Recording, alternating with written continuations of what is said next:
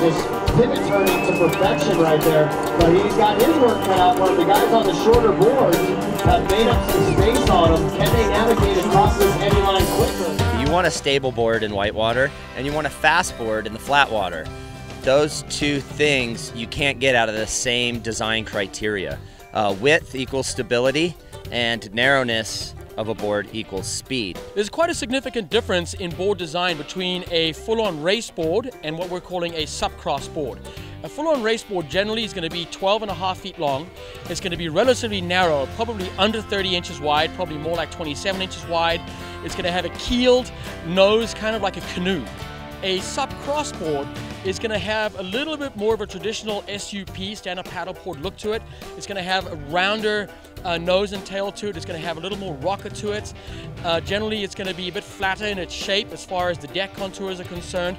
It's going to be wider and thicker. The 12.6 being the limit. With the Sprint, we saw most people on 12.6 boards, anything from 23 inches wide to 30 inch wide inflatables. Uh, obviously, with the two gates down below, it's very critical that if you're going to ride a really fast, carbon, sprinting flat water board, uh, it's going to be a lot more difficult when you get down to the gates at the bottom. You're going to have to take a lot more time and tiptoe around the currents and make the gates. It's quite a tough decision for athletes to decide which way to go. The race board which is going to be long and skinny, is going to be very, very fast. When you're moving to the first gate, if you're on a race board, you can be first into the gate, which gives you the advantage of being through there before anybody else shows up. However, if somebody on a big wide board shows up while you're still in the gate, they're going to take you out and run right over you on a more stable board. The hard move, which is from the buoy 3 to buoy 4, the wide stable boards are a sure thing. The race boards are very, very difficult.